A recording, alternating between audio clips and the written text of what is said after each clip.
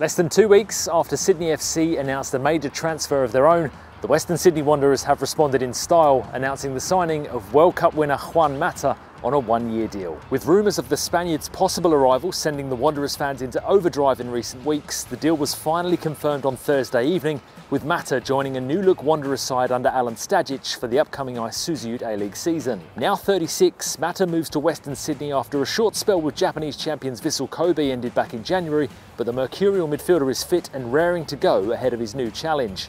In an address to his new club supporters on Instagram, Mata said, I have always been amazed with your country and long to live there. Now I will do it in the beautiful city of Sydney. I'm joining Western Sydney Wanderers, the only Australian team to ever win the Asian Champions League, and I cannot wait to arrive and train with the team to prepare for the season ahead. Feeling grateful and excited for this new adventure, and looking forward to trying to win another championship in a different league. Let's go Western Sydney Wanderers, I'm one of you. P.S. Friends and family, if you're thinking about visiting, please plan in advance this time.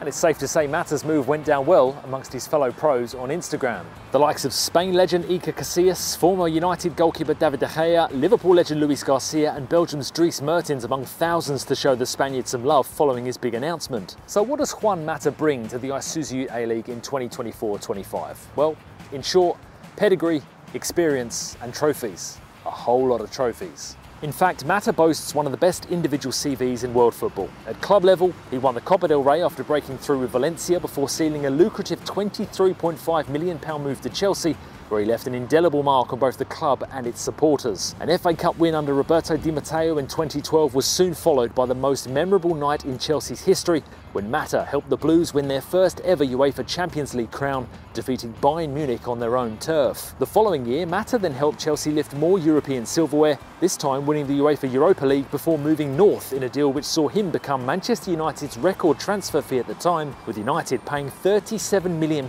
for the player, roughly $72 million in today's market. Spending eight years at Old Trafford, Mata left having won the FA Cup, League Cup and the Europa League before moving to the Turkish Super League where he won the league title with Galatasaray and then was part of the squad which won the J-League title with Vissel Kobe. And when it comes to international honours, well, Mata has won the lot.